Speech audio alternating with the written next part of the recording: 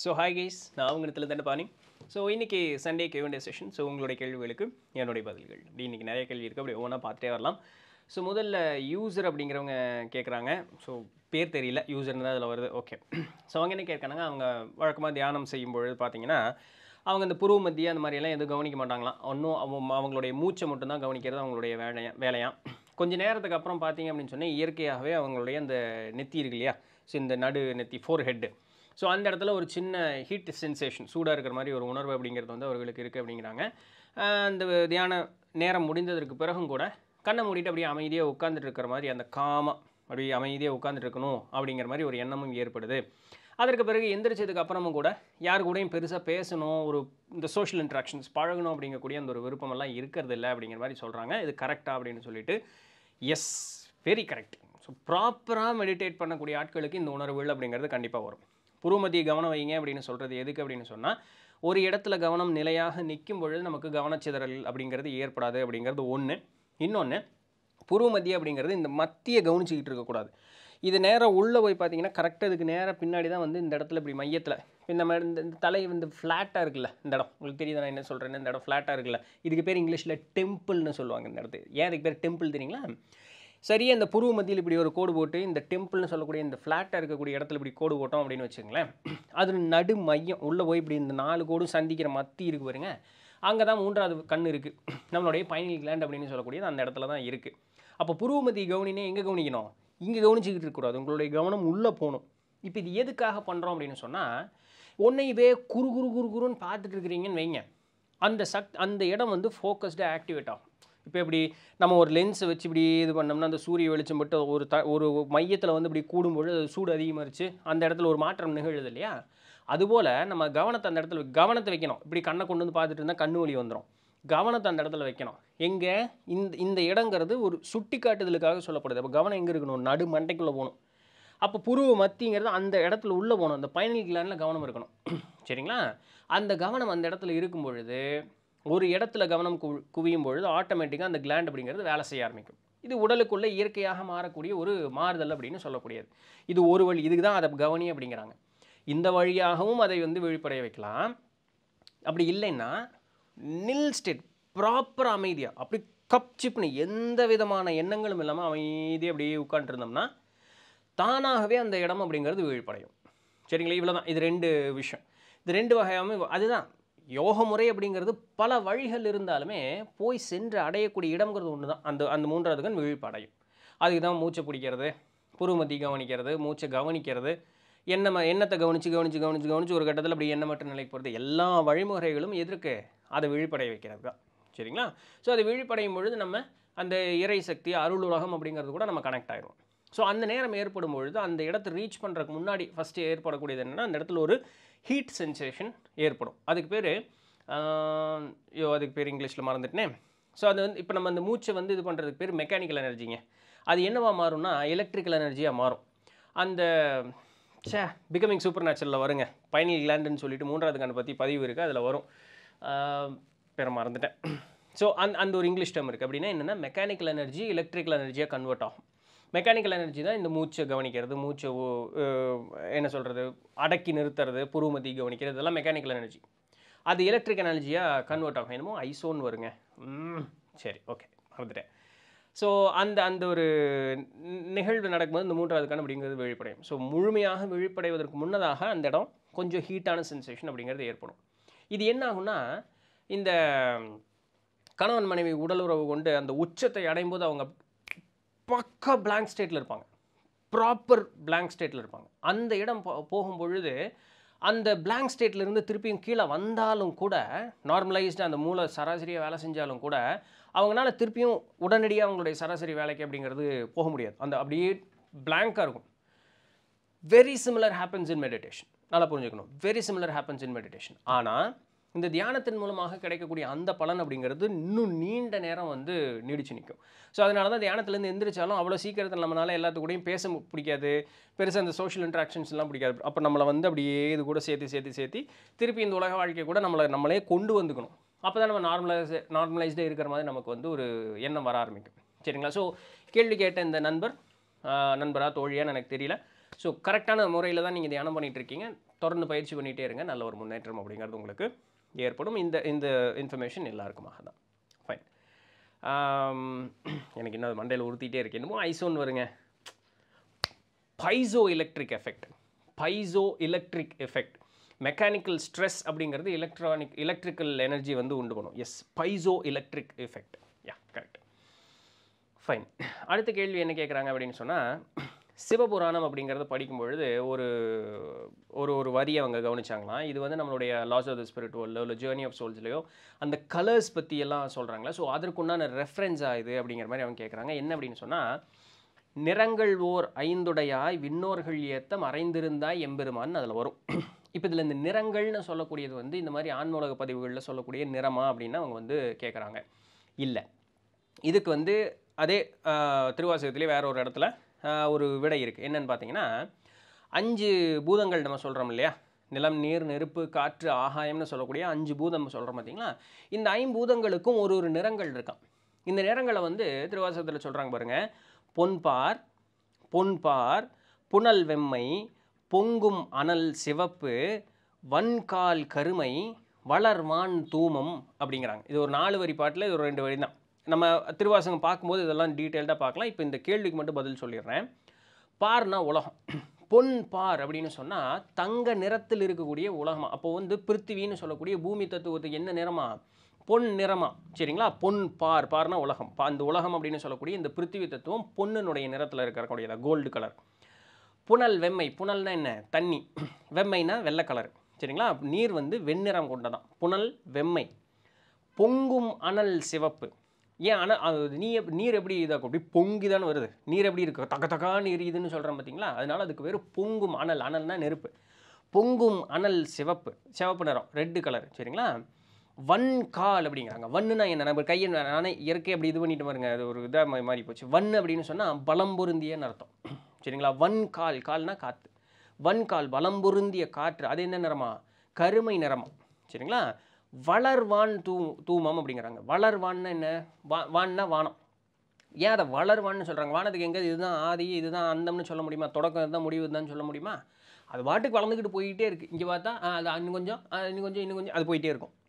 வானத்துக்கு வந்து ஒரு எல்லையே இல்லை. அப்படின்னு சொல்ல அதனால தான் வளர்வான் அப்படிங்கிறாங்க. அது வந்து வளர்ந்து நீண்டு நெடுதாக போயிட்டே இருக்குது வானத்துக்கு ஒரு எல்லையே இல்லை அப்படிங்கிறது. வளர்வான் தூமம். தூமம் அப்படின்னா என்ன? சாம்பிராணி போட்ட அந்த புகை இருக்கு பாருங்க. அதுக்கு ஏதாவது நிறம் சொல்ல முடியுமா? ஒரு நேரம் அது ஏதாவது ஒரு என் ஏதாவது ஒரு கலர் சேர்த்தினீங்கன்னா இந்த கலரோடு அது வரும். அவ்வளோதான் சாம்பிராணி அந்த புகை அந்த புகைக்கு வந்து தூபம் அப்படின்னு சொல்லுவாங்க. அந்த புகைக்கு வந்து எந்த விதமான நிறமும் இல்லை. வான் வந்து அந்த அதுபோல் இருக்கக்கூடிய நிறமா. அப்போ இந்த ஐந்து நிறங்கள் ஊடவும் அது அப்படின்னா என்ன? பஞ்சபூதங்களும் அந்த பஞ்சபூதத்தினுடைய தன்மைகளுக்குள்ளாகவும் ஊடுருவி இருப்பவன் இறைவன். அது ஒன்று சரிங்களா? நிறங்கள் ஓர் ஐந்துடையாய் ஐந்துடையாய்னா ஐந்து பூதங்கள். அதற்குண்டான நிறமான தன்மை. இது எல்லாத்துலேயும் இறைவன் இருக்கானா இது மட்டும் இல்லாமல் நிறங்கள் ஓர் ஐந்துடையாய் விண்ணோர்கள் ஏத்த விண்ணோர்கள் யார்? நம்மை விட அறிவிலையும் பலத்திலையும் ஏகப்பட்ட விஷயத்திலையும் அவர்கள் வந்து முதிர்ந்தவர்கள். மாணவர்கள் அப்படின்னு சொல்லக்கூடியவர்கள் தேவர்கள் அப்படின்னு சொல்கிற பார்த்தீங்கன்னா அதான் விண்ணோர்கள். நம்மை விட எல்லா வகையிலுமே சிறந்தவர்கள். மனிதர்களை காட்டிலும் அனைத்து வகையிலும் சிறந்தவர்கள். இறைவனுக்கு நெருக்கமாக உள்ளவர்கள். அவர்கள் ஏத்த ஏத்தனா என்ன? பணிந்து நிற்கன்னு அர்த்தம். இப்படி தான் இதுதான் இதை ஏத்த அப்படிங்கிறது. சரிங்களா? ஸோ அவர்களே பணிந்து நிற்கக்கூடிய அளவுக்கான் மறைந்திருந்தா எம் எம்பெருமான். ஸோ இப்படி எல்லாவற்றிலும் இருந்தும் தேவர்களெல்லாம் ஏற்றி நிற்கக்கூடிய ஒரு நிலையில் இருந்தும் கூட கண்ணுக்கு தெரியாத ஒரு இடையில இருக்கான எல்லாமாகவும் இருக்கக்கூடியவன் மறைந்திருக்கக்கூடிய ஒரு தன்மையை கொண்டவன். அப்போ அவனை எப்படி அடைவதுன்னு சொல்லி பின்னாடி வரக்கூடிய வரிகள்லாம் வரும். பின்னாடி நம்ம திருவாசகம் பார்க்கும்பொழுது நம்ம அதை பார்ப்போம். ஸோ இதனுடைய விளக்கம் இதுதான். நீங்கள் கேட்ட கேள்விக்கு உண்டான விளக்கம் இதுதான். ஸோ நிறங்கள் ஒரு ஐந்துடையா? எப்படின்னு சொன்னால் பஞ்சபூதத்திற்கு நம்மளுடைய நம்மளுடைய பெரியவங்க நிறம் சொல்லி வச்சுருக்காங்க. இந்த நிறத்தினோட தான் இந்த பஞ்சபூதங்கள் இருக்கும். இறைவன் எல்லாவற்றிலும் இருக்கக்கூடியவனாக இருந்தும் கண்ணுக்கு புலப்படாதவாறு மறைந்திருக்கிறான் அப்படின்னு சொல்லக்கூடியது. அப்படின்னு என்ன அப்போ நீங்கள் எல்லா இடத்துலையும் செம்ம- பஞ்சபூதங்கள் ஆனாலும் தான் இந்த உடல். அப்போ இந்த உடலும் இறைவன் தான். அதனால தான் ஒரு இறைவன் உனக்குள்ளே இருக்கான் அப்படின்னு சொல்லக்கூடிய அப்போது பெரியவங்க என்ன சொல்கிறாங்க பார்க்கும் இடமெங்கும் ஒரு நீக்கமர நிறைகின்ற பரிபூரணானந்தமே. எல்லா இடத்துலையும் எனக்கு இறைவன் எனக்கு பார்க்குற இடமெல்லாம் எனக்கு சாமி தான் தெரியுது அப்படின்னு. அப்போ எல்லா இடத்துலையும் சாமி தான். பார்க்க தெரிந்து பார்த்தால் இறைவன் கண்ணுக்கு தெரியும் இல்லைன்னா இறைவன் மறைந்து இருக்கிறான் இருந்தும் மறைந்து இருக்கிறான் அதுதான் இறைவனுடைய தன்மை அப்படின்னு சொல்லக்கூடியது. சரிங்களா? ஓகே. மறுபடியும் இன்னொருத்தங்க யூசர் அப்படின்னு ஆ ஓகே. அவங்க என்ன கேட்குறாங்கன்னா கல்யாணம் பண்ணிக்கொள்றதுக்கு விருப்பம் இல்லாமல் இருக்கிறவங்கள அவங்களுடைய நண்பர்கள் சொந்தக்காரங்க நக்கலாக கிண்டல் பண்ணுறாங்க எதுக்கும் லாய்க்கு இல்லை அப்படின்னு பேசுகிறாங்க இந்த மாதிரி எதிர்மறை எண்ணங்கள் உள்ளவங்களை எப்படி தான் சமாளிக்கிறது ஒரு வழி சொல்லுங்கன்னு கீழே வந்து பிரபாகரன் மணி அப்படிங்கிறவரும் அதே மாதிரி ஒரு பிரச்சனை தான் எங்கள் வீட்லேயே இருக்கேன் எங்கள் ஊருக்காரங்க பேசுகிறாங்கன்னு சொல்லிட்டு. ஸோ எனக்கும் திருமணம் ஆகலை இதுக்கு நான் பதில் சொல்லலாம் அப்படிங்கிறத எனக்கு எதிர்க்கிறனால தான் எடுத்து வச்சேன். நான் என்ன கேட்பேன் தெரியுங்களா? எங்கிட்ட இதெல்லாம் கேட்டிருக்காங்க. எப்போ கல்யாணம்னு கேட்பாங்க. சிம்பிளாக சொல்லிடுவேன். பொண்ணு கிடைக்கும் போது தான்ருவேன். அதுக்கு மேலே அவங்க சிரிச்சிட்டே போனாங்க என்ன பதில் சொல்ல முடியும்? பொண்ணு கிடைக்கும் போது தான்ருவேன். வேலை முடிஞ்சால் ஒன்று இல்லைன்னா கல் எனக்கு பெருசாக அதில் இல்லைங்க பார்க்கலாங்க அப்படின்னா உடனே அட்வைஸ் பண்ணுறதுக்கு வருவாங்க பெரியவங்களாக இருந்தால் ஒன்றும் சொல்கிறக்கலாம் ஆனால் அதுக்குன்னு ஒரு எல்லை இருக்குது ஒரு பொறுமை தாண்டும் போது அதையும் நக்கலாக பேசுவேன். நம்ம வயசுக்கு ஒத்தவங்களும் சின்ன சின்ன வயசு பசங்க யாரும் பேச மாட்டாங்க. வயசுக்கு ஒத்தவங்க பேசும்போது கல்யாணங்கிறது எவ்வளோ முக்கியம் ஆய்வு என்ன? நீ பேசுவாங்கண்ணேன்னு பேசுகிற வரைக்கும் பேசுகிறதுக்கு விட்டுட்டேன் ஒரே கேள்வி தான் கேட்பேன். கல்யாணம் நீ பண்ணி குழந்தை குட்டி பெற்றுட்டே இல்லை? நீ என்ன கலெக்டர் ஆகிட்டியா இல்லை கடவுள் ஆகிட்டியான்னு கேட்பேன். அவன் அவன் என்ன பதில் சொல்லுவான்? ஒன்றும் சொல்ல முடியாது. போடா பேசாமல் எந்திரிச்சுருவேன் வேலை முடிஞ்சுது. இப்போலாம் வேறு என்ன பண்ணுறது பெரியவங்க இதை நான் கேட்கவே செஞ்சுருக்கேன் ஒரு ஃப்ரெண்டுக்கிட்ட சரிங்களா? என்ன கலெக்டர் ஐடியா இல்லை கடவுள் ஐடியா அதே போல தானே இருக்கே. எனக்கும் உனக்கு ஒரு வித்தியாசம் இல்லை கிளம்புன்றேன் அவ்வளோதான் வேறு என்ன பண்ணுறது அதுக்கு மேலே அவங்களும் பேச மாட்டாங்க. இவங்ககிட்ட ஏன் வாய் கொடுத்து வாங்கி கட்டி கட்டின்னு போயிடுவாங்க சரி இது என்னுடைய டாக்டிக்ஸ் மேபி உங்களுக்கு இன்னும் பெட்டராக ஏதாவது யோசிக்க முடிஞ்சால் அது மாதிரி நீங்கள் ட்ரை பண்ணி பார்க்கலாம். யா வாழ்க வளர்க அப்படிங்கிறவங்க. பின்ன ரெண்டு கேள்வி கேட்டிருக்காங்க. ஸோ இவங்க ஒரு பொண்ணு. ரைட் இவங்க ஒரு ஹவுஸ் ஒய்ஃப் ஃபைன் என்ன கேட்குறாங்க அப்படின்னு சொன்னால் கொஞ்சம் வருஷமாக தியானம் பண்ணிகிட்டு இருக்காங்களாம் most of the time meditation பண்ணுற பர்சனை விட மெடிடேஷன் பண்ணாமல் இருக்கிறவங்க ரொம்ப பீஸ்ஃபுல்லாக இருக்கிற மாதிரி இருக்குது ஏன் அப்படின்னு சொல்லிட்டு தியானம் அப்படின்னு சொல்லக்கூடியதே மன அடக்கம் அப்படிங்கிறதையும் மனப்பக்குவம் அப்படிங்கிறது கொண்டு வரது தான் அதை பண்ணாமையே ஒருத்தன் வந்து நிம்மதியாக இருக்கான் அப்படின்னு சொன்னால் உங்களுக்கு இன்னும் மனப்பக்குவம் அடையலைன்னு அப்புறம். அப்போ நீங்கள் பண்ணுற தியானத்தினால ஒரு பயனுமே இல்லை அப்படின்னு அர்த்தம். ஃபர்ஸ்ட் ஆஃப் ஆல் நீங்கள் அவங்கள பற்றி எந்த விதமான ஒரு யோசனை அடுத்தவன் அடுத்ததுன்னு சொல்லக்கூடிய ஒரு யோசனைக்கே ஒரு கம்பேரிசனுக்கே நீங்கள் ஃபஸ்ட் ஆஃப் ஆல் போயிருந்துருக்கூடாது பட் நீங்கள் போனாலும் கூட என்ன சொல்கிறது அவன் அவன் அவன் எந்த அளவுக்கு மைண்டு பீஸ்ஃபுல்லாக இருக்கான்னு நீங்களே சொல்லிட்டீங்க பார்த்தீங்களா அப்போது நீங்கள் அவங்கக்கிட்ட இருந்தால் பாடம் கற்றுக்கணும் உண்மையாலுமே. அப்போ என்ன காரணத்தினால அவன் பீஸ்ஃபுல்லாக இருக்காங்கிற பாடத்தை கற்றுக்கிட்டீங்க அப்படின்னு சொன்னால் நீங்கள் தியானம் இருக்கும் பொழுது நீங்கள் நிம்மதியாக இருப்பீங்க. தியானம் இல்லாமல் கூட நீங்கள் நிம்மதியாக இருப்பீங்க. இவ்வளோதான் வேறு என்ன சொல்கிறது தியானம் அப்படிங்கிறதே நிம்மதியை கொண்டு வரக்கு தான் ஆனால் நீங்கள் அங்கே போய் உட்காந்துட்டு என்ன பண்ணுறீங்க அவன் தியானமே பண்ணலாம். அவன் மட்டும் நிம்மதியாக இருக்கான். நான் தியானம் பண்ணுறேன் எனக்கு நிம்மதி எச்ச ஒரு புதுசாக ஒரு ஸ்ட்ரெஸ் உள்ளே போட்டுக்கிறீங்க. வேடிக்கையாக இருக்குங்க உண்மையாலுமே. இன்னொன்று அடுத்த கேள்வி என்ன கேட்குறாங்கன்னா ரெகுலராக மெடிடேஷன் பண்ணுறப்போ குழந்தைங்க வந்து சின்ன சின்ன மிஸ்டேக்ஸ் பண்ணால் கூட நான் ஓவர் ரியாக்ட் பண்ணுறேன் ஸோ அவங்கள ஹர்ட் பண்ணுறேன் அவங்க வந்து எனக்காக அட்ஜஸ்ட் பண்ணி போடுறாங்க. எனக்கே வந்து ரொம்ப ஒரு மாதிரி பேடாக ஃபீல் ஆகுது. ஸோ மெடிடேஷனே பண்ணுறது விட்டுறலாம்னு ஒரு இருக்குது நான் வந்து ஒரு ஹவு நான் ஒரு ஒய்ஃபாக இருக்கேன். ஸோ குடும்ப விஷயங்கள் எல்லாத்தையும் நான் பார்த்துக்க வேண்டியதாக இருக்குது ஸோ என்ன பண்ணுறது அப்படின்னு சொல்லிட்டு கேட்குறாங்க உண்மை என்னென்னா தியானமே பண்ணாத ஒருத்தர் வந்து நிம்மதியாக இருக்காங்கன்னு ஒரு கோட்டு இன்னொன்று நீங்கள் ஹர்ட் பண்ணினாலுமே உங்கள் வீட்டில் இருக்கக்கூடியவங்க உங்களை பொறுத்துக்கிறாங்கன்னு சொல்கிறீங்க பார்த்தீங்களா இவங்க ரெண்டு பேர்த்துக்கிட்ட இருந்து தான் நீங்கள் உண்மையாலுமே பாடம் கற்றுக்கணும் என்னது? மன அமைதி மன அடக்கம் மன ஒருநிலைப்பாடு பொறுத்து கொள்ளக்கூடிய தன்மை பொறுமை அப்படின்னு சொல்லக்கூடியது எல்லாத்தையுமே இந்த தியானமே பண்ணாத ஆட்கள்கிட்ட இருந்து தான் நீங்கள் கற்றுக்கணும் இப்போ நீங்கள் தியானம்னு ஒன்று பண்ணுறீங்க பாருங்கள் அது முழுக்க முழுக்க பயனற்ற ஒன்று காரியமாகவே போயிடுச்சு. பிகாஸ் உங்களுடைய மைண்ட் எது மேலே இருக்குது வெளி உலகத்து மேலே ஒரு கம்பேரிசன்லேயே இருந்துக்கிட்டே இருக்குது இந்த காரணத்தினால தான் மன அடக்கம் மன அமைதி அப்படிங்கிறது வரமாட்டிங்க நீங்கள் உங்களை கம்பேர் பண்ணிக்கிட்டே இருக்கீங்க எல்லா விஷயத்துலையுமே. இந்த ஒரு காலத்து ஒரு காலத்திலும் உங்களுக்கு மன அமைதிங்கிறது கொடுக்காது. இவங்க தான் பக்கா பெஸ்ட் எக்ஸாம்பிள் தியானம் அப்படிங்கிற ஒன்று நமக்கு எந்த வகையிலையும் ஒரு முன்னேற்றத்தை கொடுக்காது அப்படிங்கிறது ஏன் கொடு இது நான் நிறைய தடவை வீடியோவில் சொல்லியிருக்கேன். ஏன் தியானம் முன்னேற்றத்தை கொடுக்காது? ம- ஏற்க தியானத்தில் போய் உட்கார்றதுக்கு முன்னாடியே மனசு ஒரு அளவுக்கு ஒரு நல்ல ஒரு பக்குவம் ஒரு மன அமைதி அப்படிங்கிறது இருக்கணும். நம்ம மாநிலம் என்ன சொல்லித்தராங்க இன்றைக்கி நிறைய குருமார்கள்னு மேடை ஓட்டு பேசிட்டு காசு பிடுங்கிட்டு இருக்காங்கல்ல உங்கள்கிட்ட இருந்தவங்களாம் என்ன சொல்கிறாங்க தியானம் செய்தால் இது நடக்கும். தியானம் செஞ்சால் ஒன்றும் நடக்காது. தியானம் செஞ்சு ஏதாவது நடக்கணும்னா அதுக்கு முன்னாடியே நம்ம ஒரு வகையான மன பக்குவத்துலேயும் ஒரு அதான் ஒரு பக்குவத்தில் நம்ம இருக்கணும். அப்படி இல்லாமல் நீங்கள் எப்படி போய் தியானத்தில் உட்காந்தீங்கன்னா என்ன நடக்கும்? ஒன்றுமே நடக்காது. இந்த அங்கே உட்காந்துட்டு நீங்கள் வேறு ஏதாவது யோசிச்சுக்கிட்டே தான் இருப்பீங்க. ஸோ இதுதான் வந்து இவங்க இவங்க கேட்ட கேள்வி ரெண்டுமே பெஸ்ட் எக்ஸாம்பிள் சும்மா வெறுமனே அப்படியே உட்காந்துருக்கறனால ஒரு யூஸ் இல்லை அகத்தீசனார் சொல்கிற மாதிரி தான் பிணம் செத்த பிணம் கண்மூடி இருக்கும் அப்படிம்பாரு ரெண்டும் ஒன்று தான் நீ அங்கே போய் எந்த மனப்பக்குவம் இல்லாமல் அமைதியாக உட்காடுறதும் செத்த போனமும் ரெண்டும் கண்ணு மூடி தான் உட்காந்துட்டு ஒரு யூஸும் கிடையாது ரெண்டுமே. ஸோ அதனால் இதெல்லாம் இயற்கையாக இருக்கக்கூடியது தான் இன்னொரு காரணமும் சொல்கிறேன் இப்போது தியானம் இருக்கக்கூடியவர்கள் மன அமைதியான ஒரு மனோநிலையில் இருப்பாங்க. அந்த அமைதியான மனோநிலை ஏற்படும் பொழுது இது யாருக்கானாலும் சரி அமைதியான ஒரு மனோநிலை அப்படிங்கிறது ஏற்படும் பொழுது ஏதொன்னும் கண்ணுக்கு முன்னாடி இது தவறு அப்படின்னு தோணுச்சுன்னா அதை சுட்டி காட்டுறதுக்கு நம்மளுடைய ஒரு ஒரு உள்ளம் வந்து வெளிப்படும். இதை தொடர்ந்து நம்ம வெளிப்பட்டு இது குடும்பம் அப்படின்னு வரும்போது இது கோபமாக வெளியே வர ஆரம்பிக்கும். இது தொடர்ந்து நடந்துக்கிட்டே இருந்தது அப்படின்னு சொன்னால் நம்மளை நாமளே அழிச்சுக்கிறோம்னு அர்த்தம். இதனால் ஒரு யூஸும் கிடையாது. குடும்பம் அப்படின்னு சொன்னால் ஒரு வள ஒரு அளவுக்கு வரைக்கும் கட்டுப்படுத்தலாம். ஒரு கட்டத்துக்கு மேலே வேலை அப்படின்ட்டு அவன் அவன் சுதந்திரத்துக்கு போயிடுவான்.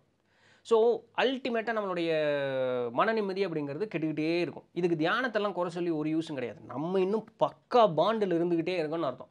நான் இன்னும் ஃபுல் ஃப்ளெஜ்டு அப்படியே ஃபேமிலி பாண்டில் நான் அப்படியே இருக்கேன். இதுக்கு தியானத்தை வந்து நான் ஒரு சாக்காக பயன்படுத்திக்கிறேன் அப்படிங்கிறது தான். ஸோ தியானம் பண்ணுறேன் போய் உட்கார்றேன் மெடிடேஷன் பண்ணுறேன் அப்படிங்கிறது எல்லாத்தையும் முழுசாக விட்டு போட்டு பண்ண வேண்டாம்னு சொல்ல வரல. ஏன் அதை முழுசாக விட்டு போட்டுன்னு சொல்கிறேன்னா முதல்ல இதெல்லாம் எதுவுமே பண்ணாது இருக்க ஒருத்தன் மன நிம்மதியோட மன அமைதியோட பொறுமையோட பொறுத்து கொள்ளக்கூடிய தன்மையோட விட்டு கொடுக்கக்கூடிய ஒரு தன்மையோட உங்கள் கூடவே நிறைய பேர் இருக்காங்க பாருங்க. அந்த ஒரு ஒரு தன்மைகள் எல்லாத்தையும் முதல்ல நீங்கள் பழகிக்கிட்டீங்கன்னா தியானம் இருக்கிறதுக்கு முன்னாடியே நீங்கள் அமைதியாயிருவீங்க. அந்த அமைதியோடு நீங்கள் தியானத்தில் உட்காருங்க. அதுக்கப்புறம் ஒரு வகையான ஒரு மாறுதல் அப்படிங்கிறது உங்களுக்கு ஏற்படும். அப்போ தான் ப்ராப்பர் தியானம் அப்படிங்கிறது சித்திக்க ஆரம்பிக்கும். அதுக்கு மேலே உங்களுக்கு அந்த பாண்ட் அப்படிங்கிறதுலேருந்து அப்படியே விலகி வந்துட்டே இருப்பீங்க. கம்பேர் பண்ணிக்கிட்டே இருக்க மாட்டீங்க உங்களையும் அதையும். சரிங்களா? முயற்சி பண்ணி பாருங்கள் தாட்ஸ் ஆஃப் நயா ஃபேமிலி அப்படிங்கிறவங்க என்ன கேட்குறாங்கன்னா ஆன்மலகத்திலிருந்தே தியானம் செய்து பிறவா நிலையை சென்று இறைவனை அடைய முடியாதா? அங்கு எல்லாம் நல்லவைகளாகவே உள்ளதே. ஏன்? அங்கே எல்லாமே நல்லவைகளாகவே உள்ளதுனால தான் நமக்கு வந்து பிரச்சனையே. அங்கேயும் போய் தியானம் செய்யக்கூடிய ஆன்மாக்கள் உண்டு தான் சரிங்களா இது வந்து நம்ம டெஸ்னி ஆஃப் சோல்ஸ் அந்த புக்லேயே பார்க்கலாம். அங்கேயும் போயும் கூட தியானமே மட்டுமே இருக்கக்கூடிய ஆன்மாக்களும் அந்த இடத்துல உண்டு தான் பட் என்ன? அந்த இடத்துல வந்து உங்களுக்கு மனப்பக்குவம் அப்படிங்கிறது கொஞ்சம் ஸ்லோவாக இருக்கும். ஏன்னா அங்கே துன்பம் அப்படிங்கிறதே கிடையாது. ஆண்முலகம் அப்படிங்கிறதே நம்மளுடைய கற்பனையினுடைய ஒரு வெளிப்பாடு தான் ஆண்முலகம் அப்படின்னு சொல்லக்கூடியது. யாராவது துன்பப்படணும்னு நினைப்பாங்களா? அப்போ ஆண்முலகத்துக்கு போகும்போது யாரும் துன்பப்பட வேண்டாத ஒரு சூழ்நிலை அப்படிங்கிறது அதிகமாக இருக்கும்பொழுது அதற்கு தான் அதிகமான இடம் இருக்கும். இருந்தாலும் நம்மளுடைய கர்ம பலன் அப்படிங்கிறது நம்ம கூடவே வர்றதுனால நம்மளை வந்து நம்ம ஃபுல்லாக ரியலைஸ் பண்ணியிருப்போம் அந்த இடத்துல. ஸோ அந்த இடம் முழுசாக சுகமாக இருக்கும். ஆனால் அதே நேரத்தில் நம்ம செஞ்சது செய்யாதது எல்லாம் ஞாபகம் இருக்கும். அப்போ என்ன பண்ணுவோம்? செஞ்சது செய்யாதது எல்லாத்தையும் கன்சால்டேட் பண்ணி இதை கரெக்ட் பண்ணுவோம் இதை கரெக்ட் பண்ணுவோம் இதை கரெக்ட் பண்ணுவோம்னு அடுத்தடுத்த பிறப்புகள் நம்ம அப்படியே எடுத்துக்கிட்டே வந்துக்கிட்டே இருக்கும்.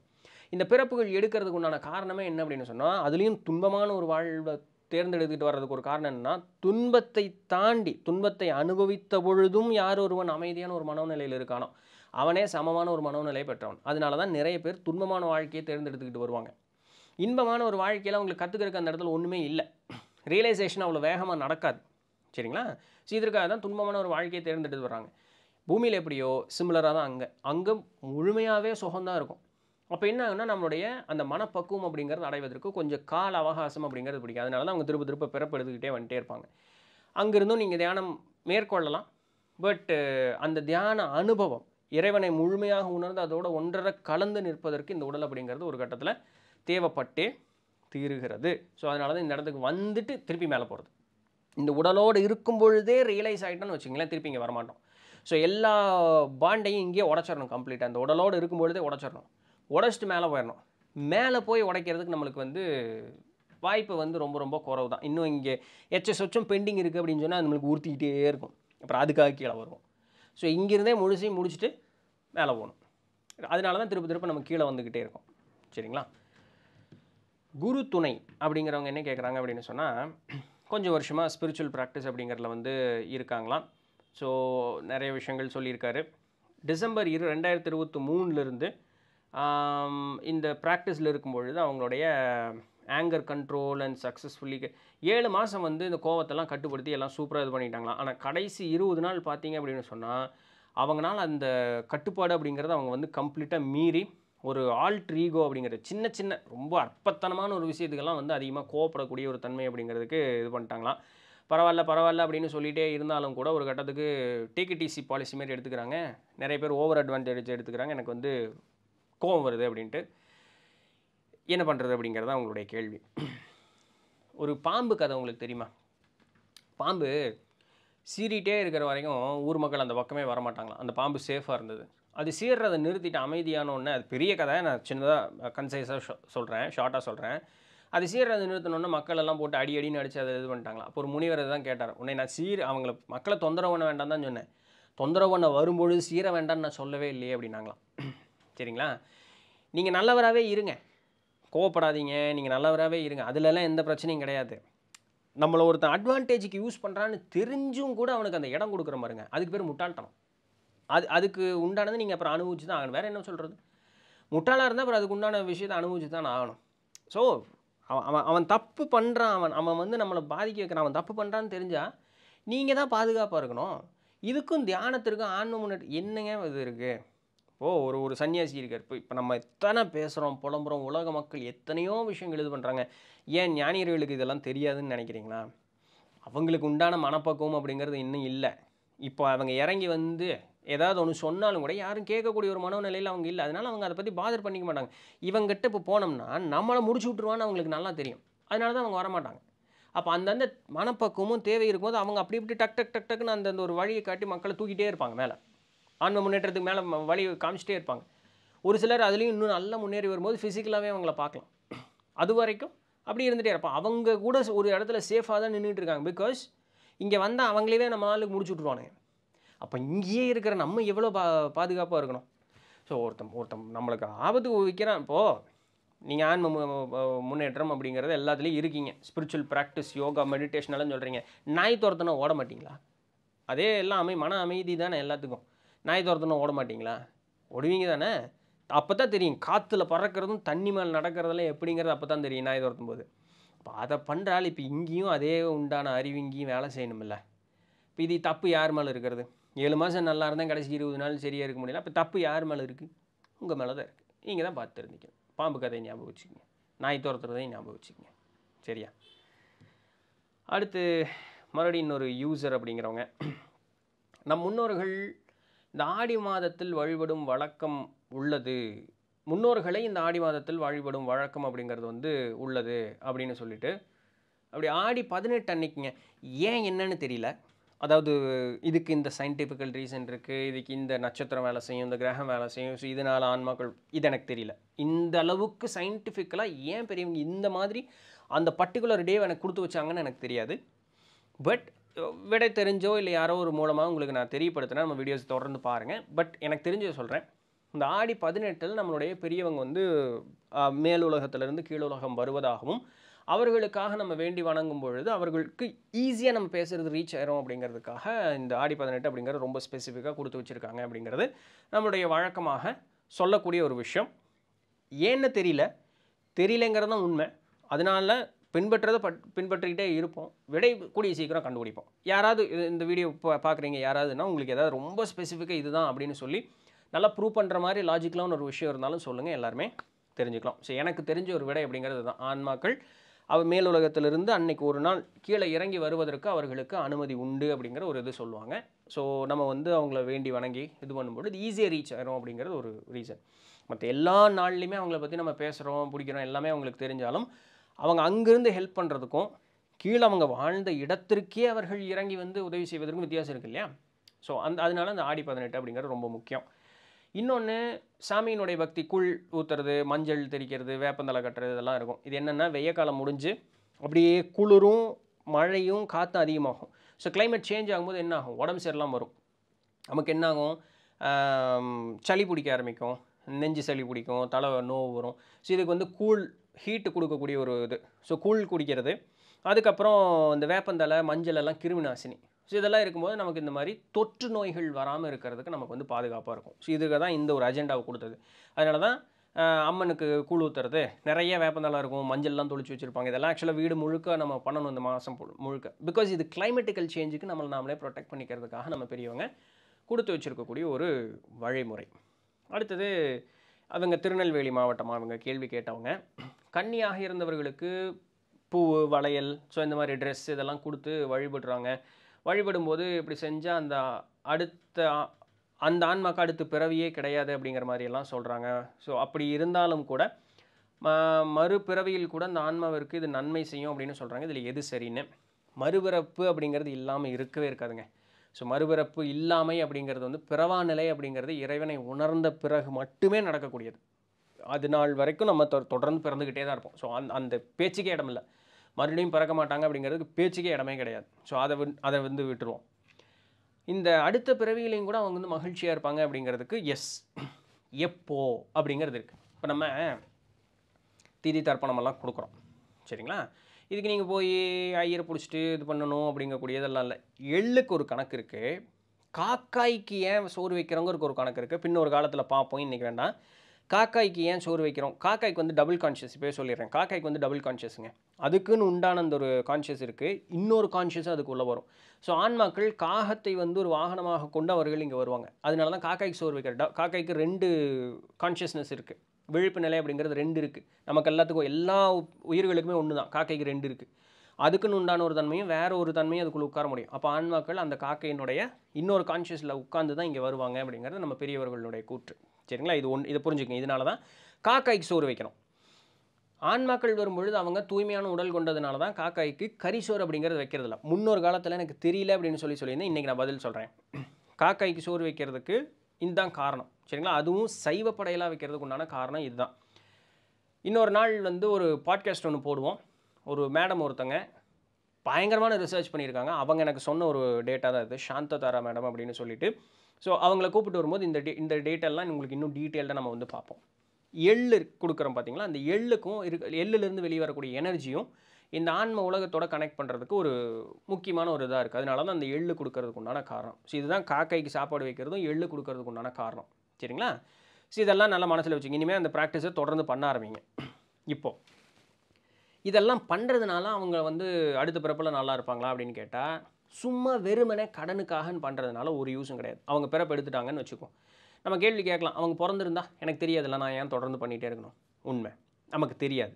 இருந்தால் தெரியாததுனால தான் நம்ம தொடர்ந்து பண்ணிக்கிட்டே இருக்கோம். ஸோ அவங்க பிறந்ததுக்கப்புறமா அந்த தொடர்ந்து பண்ண எனக்கு நேரம் செலவு காசு செலவு நான் ஏன் பண்ணணும்? இந்த மாதிரி வெட்டிக்கு பண்ணுனான்னு சொன்னால் ஒரு யூஸும் கிடையாது. எப்போ பண்ணுனா யூஸ்னா ஆத்மார்த்தமாக நினைக்கணும். ஆழவாக மனசுக்குள்ளிருந்து வரணும். என் முன்னோர் என் வழி இருந்தவர் சொ சொல்லப்போனால் அவர்கள் வழி தான் நாம் வந்திருப்போம். ஸோ அந்த மாதிரி இருக்கக்கூடியவங்க இப்போது ஆன்மூலகத்தில் இருந்தாலும் சரி அவர்களுக்கு ஒரு நல்ல நிலை கிடைக்க வேண்டும் அப்படின்னும் மறுபிறப்பு எடுத்திருந்தாலும் அவர்கள் நல்ல ஒரு நிலையில் இருக்கணும்னு வேண்டணும். எப்படி? ஆத்மார்த்தமாக வேண்டணும். சும்மா கடனுக்காகன்னெல்லாம் கிடையாது. ஆத்மார்த்தமாக வேண்டணும். வேண்டும் பொழுது உங்களுடைய வேண்டுதல் அவர்களை சென்று அடைந்தே தீரும். அவர்கள் பிறப்பு எடுத்திருந்தாலும் கூட. அவங்களுக்கு அந்த அடுத்த பிறப்பு எடுத்திருக்கும் பொழுது உங்களுடைய வேண்டுதல் அவர்களுக்கு ஒரு நல்ல பயனாக சென்று அடைந்தே தீரும். அவர்களையும் ஒரு துன்ப காலத்தில் உங்களுடைய வேண்டுதல் காப்பாற்றியே தீரும். எப்போ? அந்த அளவுக்கு உங்களுடைய மனசிலிருந்து ஆத்மார்த்தமாக ஆழமாக அந்த வேண்டுதல் அப்படிங்கிறது வெளியே வரணும். வந்தது அப்படின்னு சொன்னால் அவர்களுக்கு சென்று அடைந்தே தீரும். ஸோ அதனால் நம்ம பெரியவங்க கொடுத்துட்டு போன இந்த பழக்க வழக்கங்களை செய்வதை நிறுத்த வேண்டாம். தொடர்ந்து பண்ணிகிட்டே இருங்க. நம்ம பெரியவங்க சொன்னதுக்கு எல்லாத்துக்குமே ஒரு லாஜிக் அப்படிங்கிறது இருக்குது இதெல்லாம் புரியாத நான் சயின்ஸ் பேசுகிறேன் இல்லை நாத்தியம் பேசுகிறேன்னு சொல்லக்கூடிய கேன பசங்க ஏதாவது பேசிகிட்டு இருப்பானுங்க. ஒரு சில விஷயங்கள் உண்மையாலுமே நம்மளால் ப்ரூவ் பண்ண முடியறது இல்லை தான். பிகாஸ் அதுக்கு உண்டான ப்ராப்பர் ரிசர்ச் இல்லை அதை முழுசும் தெரிஞ்ச ஆட்கள் இன்னைக்கு இல்லை அப்படின்னு சொல்லக்கூடிய ஒரு காரணத்தினால நம்மக்கிட்ட பழக்கம் மட்டும் இருக்குது ஏங்கிற அந்த விஷயம் போயிடுச்சு. ஏங்கிற ஒரு விஷயத்த பேச தெரியல அப்படிங்கிறதுக்காக பழக்கத்தையும் கைவிட்டோம் அப்படின்னு சொன்னால் அப்புறம் நம்ம டொங்கின்னு கீழே போக வேண்டியதுதான். ஸோ அதனால் பழக்கத்தை தொடர்ந்து பண்ணுவோம். இது இதனால தான் சொல்கிறதுக்கு யாரோ ஒரு மகாராசன் வருவான். அவன் வந்தப்போ இது எல்லாத்தையும் எடுத்து சொல்லுவோம் அது வரைக்கும் நம்ம தொடர்ந்து பண்ணுறதை பண்ணுவோம். அடுத்தடுத்த தலைமுறையிற்கு இதை வந்து கடத்தி கொண்டு போவோம். ரைட் ஃபைன் அடுத்தது ராவணன் அப்படின்னு சொல்லக்கூடிய ஒருத்தவங்க கேட்குறாங்க இந்த பிரபஞ்சம் கற்பனையால் ஆனது அப்படின்னு சொல்கிறோம் ஒருவேளை இந்த பிரபஞ்சத்தில் இருக்கக்கூடிய எல்லா உயிர்களும் இந்த பிரம்மத்தில் போய் கலந்துட்டா அதாவது முக்தி அடைஞ்சிட்டா இந்த பிரபஞ்சம் என்னாகும்? கேலக்ஸிஸ் இந்த உலகங்கள் எல்லாமே என்னாகும்? எதுவுமே இருக்காது. இந்த இந்த பிரபஞ்சம் அப்படின்னு சொல்லக்கூடிய இந்த கேலக்ஸி இந்த உலகம் அப்படின்னு சொல்லக்கூடியது அனைத்துமே வெறும் ஒரு கற்பனை தான். இது உண்மையாலுமே இங்கே எதுவுமே கிடையாது. ஸோ இந்த கற்பனை அப்படின்னு சொல்லக்கூடிய இது மீண்டுருச்சு அப்படின்னு சொன்னால் இங்கே உண்மையாலுமே எதுவுமே இருக்காது. அப்போது அப்போ இங்கே எதுவுமே இருக்காது. திருப்பி அந்த பழைய அந்த பிரம்ம நிலை அப்படின்னு சொல்லக்கூடிய அந்த ஒரு தன்மைக்கே அது வந்து முழுக்க முழுக்க போயிடும் ரைட் ஓகே ஸோ அடுத்தது மஹிஷ் ஃப்ளோ அப்படிங்கிறவங்க என்ன கேட்குறாங்கன்னா நம்ம வந்து நம்மளுடைய உயிரை வந்து நம்ம தான் தேர்ந்தெடுத்துக்கிறோம் அப்படின்னு சொல்லும்போது ஸோ நமக்கு வந்து அது மேலே ஒரு கண்ட்ரோலே இல்லை அப்படிங்கிறாங்க. முதல்ல ஆரம்பிக்கும் போதே அவங்க முன்னுக்கு பின் முரண ஆரம்பிச்சிட்டாங்க. நம்ம தான் வந்து சூஸ் பண்ணுறோம் அப்புறம் நமக்கு நம்மளுக்கு அது மேலே ஒரு கண்ட்ரோலே இல்லை அப்படின்னு சொல்கிறது எப்படின்னு எனக்கு புரியல. கண்ட்ரோல் இருக்கிறதுனால தான் நம்மளே நம்மளே சூஸ் பண்ணுறோம் சரி ஓகே அப்போது ஒரு கொலகாரன் ஆஹ், இந்த க கள்ளக்கடத்தல் பண்ணுறவன் இல்லை இந்த கற்பழிக்கிறவன் இந்த மாதிரி நிறைய விஷயங்கள் இருக்கு இல்லையா? ஸோ இந்த மாதிரி இருக்கிறது எல்லாமே வந்து சின்ன சின்ன இஷ்யூ கிடையாது. இதெல்லாம் பெரிய இஷ்யூ பயங்கர ஹியூஜ் க்ரூவல் ஆக்ட்ஸ் அப்படிங்கிறாங்க. ஸோ இதுக்கு பாதிக்கப்படுறாங்க இல்லையா? இவங்கெல்லாம் வந்து என்ன பண்ணியிருப்பாங்க? இவங்களுடைய முந்தைய பிறப்புலலாம் என்ன செஞ்சதுனால இவர்களுக்கெல்லாம் வந்து இந்த மாதிரி இருந்திருக்கும்? இல்லை இந்த மாதிரி தவறு இழைக்கிறான் பாருங்க. அவனுக்கு செல்ஃப் கண்ட்ரோல் இல்லாமல் இருந்திருக்குமா அப்படின்னு சொல்லி. முந்தைய பிறப்புகளில் அவர்கள் என்ன செய்தார்கள்? எதனால் அவர்களுக்கு இப்படி ஒரு பிறப்பு ஏற்பட்டிருக்கும் அப்படின்னு நமக்கு தெரியாது. இன்றைக்கி நம்ம கண்ணு முன்னாடி இவங்க துன்பப்படுறாங்கன்னு நம்ம நினைக்கிறோம். ஏன் துன்பப்படுறான்னு நம்மளுக்கு தெரியல. ஆனால் எதுவுமே காரணம் இல்லாமல் ஒரு காரியம் அப்படிங்கிறது கிடையவே கிடையாது இந்த உலகத்தில். ஆக்சிடென்ட்ஸ் எதாச்சும் நடக்கக்கூடியதற்கும் வாய்ப்பு உண்டு தான் இல்லைன்னெல்லாம் கிடையாது. பட் அது ரொம்ப ரேர் கேசஸில் நடக்கிறது. எப்பவுமே ஆக்சிடென்ட்ஸ் அப்படிங்கிறது சும்மா அப்படி போர் அடிச்ச மாதிரிலாம் நடக்காது. ரொம்ப ரேர் கேசஸில் நடக்கிறது. ஸோ தொண்ணூத்தொம்பது சதவீதம் தொண்ணூத்தொம்பது புள்ளி ஒம்பது ஒம்பது சதவீதம் எல்லாமே ப்ரீ பிளான்டு தான். ஸோ நமக்கு விடை தெரியலங்கிறதுனால அதுக்கு மேலே சந்தேகப்பட முடியாது. கண்டிப்பாக முன்வினை கர்மம் அப்படிங்கிறது இருந்தே தீரும். இந்த கர்மம் இருக்கக்கூடிய ஒரு காரணத்தினால இப்படிப்பட்ட துன்பத்தை நான் அனுபவிக்கிறேன்னு அவங்களே முடிவு பண்ணிட்டு தான் கீழே வருவாங்க. சரிங்களா? இருந்தாலும் நல்லா புரிஞ்சுக்கங்க. இருந்தாலும் இதெல்லாம் நம்ம முன்னாடி நம்ம ஜேர்னி ஆஃப் சோல்ஸில் சாரி டெஸ்னி ஆஃப் சோல்ஸில் பார்த்துருக்கோங்க. இருந்தாலும் இதிலிருந்து தப்பிப்பதற்கும் நமக்கு ஒரு வாய்ப்பு கிடைக்கும். ஒரு பிள்ளை வந்து ஷூட் பண்ணி கொண்டுருவாங்கன்னு ஒரு கதை ஒன்று பார்த்தோம். அப்போ அந்த பிள்ளை மனசில் சொல்லிகிட்டே இருக்கும். இங்கிருந்து சீக்கிரம் போ சீக்கிரம் போ சீக்கிரம் போ அப்படின்னு ஒன்றும் வீட்டில் இருந்து கிளம்பும்போது கிளம்பாத கிளம்பாத கிளம்பாதன்னு இருக்கும். அந்த உணர்வையும் மீறி அந்த புள்ள அந்த இடத்துக்கு வரும். போன்னு சொல்லும்போது போலாகாமல் அந்த இடத்துல நின்றுக்கிட்டே இருக்கும். அப்போ அந்த பு- குண்டடிபட்டு அது செத்து போயிடும் சரிங்களா? ஸோ துன்பத்தை அனுபவிக்கிறதுக்கு ஒரு கர்மம் அப்படின்னு இருந்தாலும் அந்த துன்பத்திலிருந்து மீளுவதற்கும் ஒரு கர்மம் அப்படிங்கிறது இருக்குது ரெண்டு பாதையுமே நமக்கு இருக்கும். உங்களுடைய ஆழ்மனது அப்படிங்கிறது ரெண்டையுமே உங்களுக்கு தக்க நேரத்தில் ஞாபகப்படுத்தியே தீரும். ஆனால் என்ன பிரச்சனை? நமக்கு எந்த வினை அதிகமாக இருக்கோ அது பக்கம் தான் நம்ம புத்தி ஆட்டோமேட்டிக்காகவே போகும். இவ்வளோதான் இது எல்லாருக்குமே இது ஒன்றும் ஸ்பெஷலெல்லாம் ஒன்றும் கிடையாது. இது எல்லாருக்குமே இது பண்ணுறோம் ஒன்று செஞ்சுருப்போம். செஞ்சுட்டு செருப்படி திம்போம். அப்போ யோசிச்சு பார்ப்போம் ச்சே அந்த நேரத்தில் செய்ய வேண்டான்னு தோணுச்சேடா. செஞ்சால் இப்படி ஆகணும்னு தோணுச்சேடா. அதை மீறி செஞ்சு இப்படி அனுபவிக்கிறேன்னு சொல்லியிருக்கீங்களா? சொல்லலையா? உங்களுடைய ஆயுட்காலத்தில் இதை சொல்லியிருக்கீங்களா? சொல்லலையா? ஒரு ஆள் விடாமல் எல்லாருமே இதை சொல்லியிருப்பாங்க. அப்போ என்ன தான் வந்து நமக்கு இங்கே ஒரு முடிவு பண்ணிட்டு கீழே வந்தாலும் கூட அந்த முடிவையும் எந்த நேரத்திலும் நமக்கு மாற்றக்கூடிய அந்த ஒரு பலம் அப்படிங்கிற நமக்கு உண்டு. சுதந்திரம் அப்படிங்கிற நமக்கு உண்டு. அதுக்கு ஏற்றபடி செயல்படுவது அவரவர்களுடைய மனோத்திரத்தை பொறுத்தது. இவ்வளோதான் வேற ஒன்றும் இல்லை. சரிங்களா? அடுத்தது ஒன்று கேட்டிங்க இல்லையா இந்த மாதிரி தவறு இழைக்கக்கூடியவனுக்கு மனக்கட்டுப்பாடு அப்படிங்கிறது அவனுக்கு இல்லையான்னு எஸ் ஆப்வியஸ்லி மனக்கட்டுப்பாடு அந்த இடத்துல இல்லை. தவறென்று தெரிந்தும் ஒருத்தன் தவறை செய்கிறான் தவறுனே இல்லை என் நான் எனக்கு அப்படிங்கிறது மட்டும்தான் முக்கியங்கிறதும் அவன் தவறு இழைக்கிறான். என்ன பண்ணுறது இந்த மாதிரி இருக்கக்கூடியவர்களை வந்து கட்டுப்படுத்தி ஒரு நிலைப்பட்டு கொண்டு வர்றது ஒரு அரசனுடைய நியதி இன்றைக்கி அப்படி யாரும் இல்லை. அவங்க அவங்க அவங்க அவங்கள பார்த்துக்க வேண்டியதுதான். சரிங்களா? அவங்க நாலு கேள்வி கேட்டிருப்பாங்க. இன்னும் ரெண்டாவது கேள்வி பாருங்கள் நம்மளுடைய அவங்க என்ன ரெண்டாவது கேள்வி என்ன கேட்குறாங்கன்னா முந்தைய பிறப்புகள் பற்றி தான் வந்து நிறைய நான்முலக பதிவுகளில் சொல்லியிருக்காங்க இல்லையா? இந்த பிறப்பு ஏன் எடுத்தோம்னு நிறைய சொல்லவே இல்லையா. ஒரே ஒரு எக்ஸாம்பிள் தான் இருக்குல்ல. ஸோ இந்த பிறப்பை பற்றி கண்டே பிடிக்க முடியாதா அப்படின்னு சொல்லிட்டு நிறைய இப்போ அந்த இது பாருங்கள் ஜேர்னி ஆஃப் சோல்ஸ் இருக்குது லாஸ் ஆஃப் த ஸ்பிரிச்சுவல் இருக்குது டெஸ்னி ஆஃப் சோல்ஸ் இருக்குது இதில் எல்லாத்துலேயுமே நிறைய எக்ஸாம்பிள்ஸ் இந்த பிறப்பு ஏன் இவங்க எடுத்திருக்காங்க அப்படிங்கிறதுக்கு ஏகப்பட்ட எக்ஸாம்பிள்ஸ் இருக்குது ஒரு ஒரு வீடியோவாக தொடர்ந்து பார்த்துட்டே வாங்க. நிறைய எக்ஸாம்பிள்ஸ் இருக்குது உங்களுடைய இந்த பிறப்புக்கு உண்டான காரணம் என்ன அப்படிங்கிறது உங்களால் எளிமையாக கண்டுபிடிக்கவும் முடியும். உங்களுக்கு ஆட்டோமேட்டிக்காக எது மேலே ஈடுபாடு இருக்குது அப்படிங்கிறத ஒன்று நோட் பண்ணுங்கள் இன்னொன்று ஒன்று துரத்தி துரத்தி துரத்து துரத்து போயிட்டே இருப்பீங்க. அது உங்களுக்கு கிடைக்கவே கிடைக்காது. இயற்கையாக ஈடுபாடு இருக்கக்கூடியதுக்கு பின்னாடி போயும் ஒன்று துரத்தி துரத்தி போக முடிய போயும் கிடைக்காம ஒன்று இருக்கும்போது மன வருத்தம் ஏற்படும் பாருங்க. அங்கே மனம் வருந்தாமல் அது கிடைக்கலங்கிறத ஏற்றுக்கிட்டு அது கிடைக்காத ஒரு சூழ்நிலையிலையும் அமைதியான ஒரு மனோநிலையோடு வாழணும். இது ரெண்டு காரணம் தாங்க இந்த பூமியில் பிறந்தது. ஒன்று பிடிச்சதை துரத்திட்டு போனோம். இன்னொன்று தேடி போயும் கிடைக்கல அப்படிங்கிறத மனசுக்கு ஏற்றுக்கிட்டு அமைதியான ஒரு மனநிலையில் இருக்கணும். இது ரெண்டையும் புரிஞ்சுக்கிட்டோன்னா வாழ்க்கை நிம்மதியாக இருக்கும். இதுக்காக தான் கீழே வந்திருக்கோம். வேறு ஒன்றும் இல்லை. ரைட் மூணாவது கேள்வி. ஒன்று வந்து அட்வான்ஸ்டு சோல்னு ஒன்று சொல்கிறாங்க ஒன்று பிகினர் சோல்ஸ்னு சொல்கிறாங்க நம்ம எப்படி இது ரெண்டில் எப்படி அப்படின்னு கண்டுபிடிக்கிறதுங்கிறாங்க. அட்வான்ஸ் சோல்ஸ் என்னங்க? சன்னியாசி எக்ஸாம்பிள் எடுத்துங்க இந்த உலகத்தில் இன்றைக்கி இருக்கக்கூடிய நிறைய பசங்க பிள்ளை எப்படி இருக்காங்க? அவங்கள பிகினர் சோல்னு எடுத்துங்க பார்க்கறது மேலெல்லாம் ஆசை. அவங்களுடைய ஆசைக்கு ஒரு எல்லையே கிடையாது. அவங்க எது சரி தவறு அப்படி எந்த கோட்பாடும் கிடையாது. எல்லாமே காஞ்ச இது காஞ்ச மாடு கம்பு கட்டுக்குள்ளே போகிற மாதிரி தான் எல்லா வேலையும் அவங்களுக்கு பிடிக்கும். இதெல்லாம் பிகினர் சொல். அட்வான்ஸ் சொல்கிட்ட ஒரு அசைவே இருக்காது. அசைவுனா உடல் அசைவு இல்லை மன அசைவே இருக்காது. அவங்க எது சரி எது தவறு இது எது நிலை எது நிலையாதது அப்படிங்கிறதெல்லாம் அப்படியே அவங்க அமைதியாக இருப்பாங்க. ஆர்ப்பாட்டம் இருக்குது அப்படி ஒரு கேரக்டரே உங்கள் கூட இருக்குன்னே தெரியாது. உங்கள் வீட்டுக்காரர் அப்படி இருக்கலாம். உங்கள் குழந்தைங்க அப்படி இருக்கலாம். மாமனார் மாமியார் நாத்தனார் எல்லாம் யாரை வேணாலும் எடுத்துங்க நண்பர்கள் பக்கத்து வீட்டுக்காரன் யார் வேணாலும். பயங்கரமான உன்னதமான இருப்பாங்க. அந்த உன்னதமான ஆட்களுக்கு இந்த உலகத்தில் இன்னைக்கு இருக்கக்கூடியவங்களுக்கு பேர் என்ன தெரியுமா? கையால் ஆகாதவன் பொழைக்க தெரியாதவன் சோம்பேறி இல்லை ஆக்சுவல் சோம்பேறி இல்லை.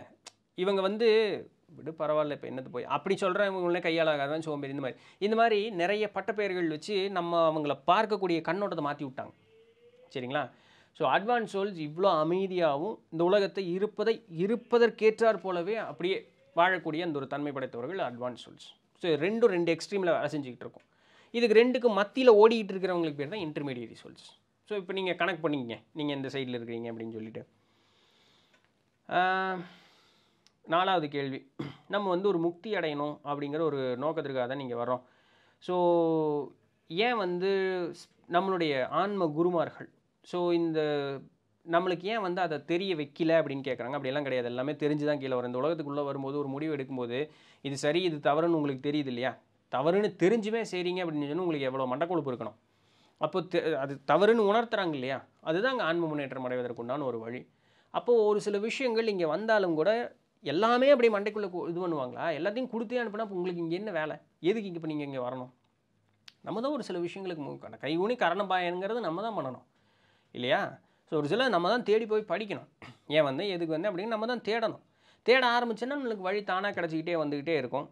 ஸோ இன்றைக்கி இருக்கக்கூடியவங்க நிறைய அதை பற்றி சொல்லித்தரதில்லை சொல்லித்தரதில்லை என்ன பண்ணுறது கால சூழல் அப்படிங்கிறது இருக்குது இன்றைக்கி காசு பணம் பேர் புகழ் அந்தஸ்து அப்படிங்கிறதுக்கு தான் முக்கியத்துவம் அப்படிங்கிறது ஆகிப்போச்சு கால சூழல் அப்படி இருக்குது ஆனால் நம்மளுடைய பெரியவர்கள் அதை பற்றி சொல்லியிருக்காங்கன்னா வாயோயாமல் எல்லாருமே சொல்லிட்டு போயிருக்காங்க. நூட்கள் வாயிலாகவும் சரி வாழ்ந்திருந்த உபதேசங்களாகவும் சரி ஆன்மூலகத்தில் இருக்கக்கூடிய குருமார்கள் அவங்களும் சரி நம்மளுடைய ஆன்மாவே நமக்கு சொல்லும். பண்ணாத வேண்டாம் எதுக்கு இப்படி சுத்துற? இதனால் பயன் இல்லை அமைதியாரு சொல்லும். எதையும் நம்ம தான் கேட்குறதில்ல ஒரு சிலதுக்கு விடை தெரியாது. அது என்னமோ தெரியலப்பா தெரியல. விடு. இது இது ஏன் சொல்லணும்? தெரியலன்னு ஆச்சு இல்லை. அப்போ தெரியலங்கிறத தேடி பிடிக்கிறது யார் பொறுப்பு? நம்ம பொறுப்பு தான். தேடினா தான் கிடைக்கும். அடுத்த குழந்தைக்கு தான் பால். இல்லைங்களா? சரி யாரோ ஒருத்தங்க கொடுப்பாங்க எடுத்து இப்படி ஊட்டி விட்டு போவாங்கன்னு எதிர்பார்க்க முடியாது. நம்ம தான் கையூனி காரணம் பாயணும் ஏன்னா இப்போ நமக்கு தான் தேவை. யாருக்கு என்ன வந்தது? இல்லையா? மிஸ்ட்ரி டீகோடர் அவங்க என்ன கேட்குறாங்கன்னா புருவ மத்திய பாருன்னு எல்லாரும் எல்லா சித்தர்களும் சொல்கிறாங்க பார்த்தா என்ன நடக்கும்? கண்டினியூவாக பார்த்தா என்ன நடக்கும்? வாசி தானே இம்பார்ட்டண்ட்டு என்னோட புருவ மத்தி பார்க்குற நமக்கு எனக்கு எனக்கு போர் அடிச்சு போச்சுங்க உண்மையாலுமே. இதுக்கு பதில் சொல்லி சொல்லி. ஆக்சுவலாக இதே கேள்வி தானே முதல் பதில் சொன்னேன். சரி ஓகே முதல் கேள்விக்கு இதுதான் பதில். பத்து நிமிஷம் பேசியிருக்கேன். அது பார்த்தீங்கன்னா உங்களுக்கு ஓகே தெரிஞ்சிருக்கும். இப்போ சொல்லக்கூடியது கேள்வி இல்லை. இப்படியும் மனிதர் மனிதர்கள் இருக்காங்கன்னு தெரிஞ்சுக்கங்கிறதுக்காக ஒரு இதுதான். வெங்கடேசன் கே அப்படிங்கிற ஒரு பழைய கொங்கணர் சித்தர் அப்படின்னு சித்தர்கள் வரலாறுன்னு முதல்ல போட்டுக்கிட்டு இருந்தேன். அதில் கொங்கண சித்தரனுடைய அந்த வீடியோவில் கமெண்ட் பண்ணியிருக்கார். சித்தர்களை வணங்கினால் கெட்டது நடக்கும். அவர்கள் சமாதியின் மேல் விஷ்ணுவை வைத்து வணங்க வேண்டும். இல்லாவிட்டால் அழிவை சந்திக்க நேரிடும்னு இப்படியும் ஜனங்க இருக்காங்க. இந்த சைவர்கள் வைணவர்கள் சண்டை இருக்கும் தெரியுங்களா? பட்டையா நாமமான்னு சண்டை இருக்கும் தெரியுங்களா? அந்த சண்டைக்கு வரும்பொழுது எல்லாமே விஷ்ணு தான் பெருசுங்கிறதுக்கு அந்த அந்த அந்த அஜெண்டாவை இன்னும் புரிஞ்சுக்கிட்டு சுற்றிட்டு இருக்கிற ஆளுகளும் உண்டு. நல்லா புரிஞ்சுக்கங்க. சிவங்க இவ- புரிஞ்சுக்குங்க. என்ன நடக்குது? இந்த மாதிரியே ஆட்கள் உண்டு. ஏ முடிஞ்சு வச்சுங்க அவ்வளோதான் இதோட கேள்வி. இந்த மாதிரியே ஆட்கள் உண்டு. ஜாக்கிரதையாக இருங்க இதெல்லாம் பார்த்து நம்பி கே இது பண்ணி அப்போ அப்போ ஆழ்வார்களை விட்டுலாமா ஏன்னா ஆழ்வார்கள் ஆல்ரெடி நாமம் போட்டு தான் இருப்பாங்க. விஷ்ணு தான் வழிபடுறாங்க. அதனால பிரச்சனை இல்லை இல்லையா? இப்போ பட்டை போட்டால் தான் பிரச்சனை. சித்தர்கள் மட்டும்தான் பிரச்சனை. சரி தப்பு இல்லை. சரி தான் இன்றைக்கு உண்டான கேள்விகள்ங்க. அதற்கு உண்டான பதில்களும் பிடிச்சிருந்துருக்குன்னு பெருமைட்டு இருந்திருக்கும் அப்படின்னு நம்புகிறேன் நாளைக்கு வேறு ஏதாவது ஒரு சுவாரஸ்யமான செய்தியில் சந்திப்போம். அதுவரையும் தொடர்ந்து நினைந்திருங்கள் நான் உங்கள் இடத்துல தான் பண்ணி நன்றி. வெற்றிவேல்! வெற்றிவேல்! வெற்றிவேல்!